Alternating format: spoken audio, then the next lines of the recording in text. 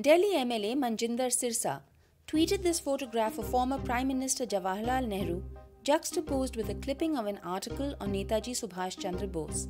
Sirsa is a member of the NDA affiliated Shiromani Akali Dal and used the photograph of Nehru being embraced by a young woman as a comment on Nehru's moral character, calling him just the hero of the Indian National Congress and comparing him to Bose, who he calls the real hero of India.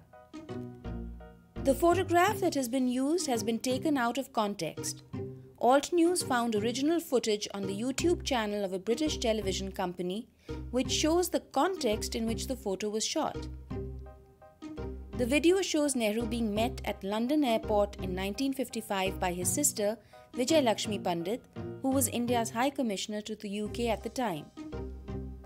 Accompanying Mrs. Pandit was her daughter and Nehru's niece, Nayantara Sahgal, who is the young woman embracing Nehru from behind. Mrs. Pandit is also seen in the shot, and so is Nehru's daughter Indira Gandhi. Here's another example of an image circulated as a photograph of Nehru allegedly in an intimate moment with Lady Edwina Mountbatten.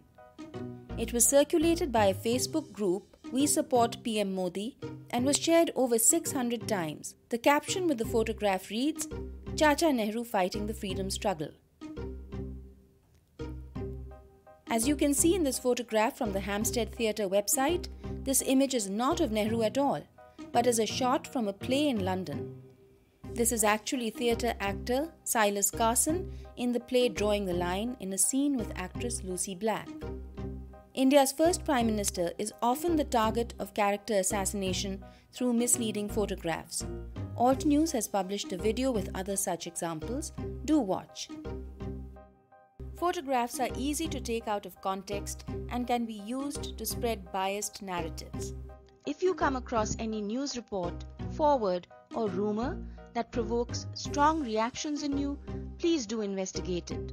Share responsibly so we can all work together to fight fake news. Thank you.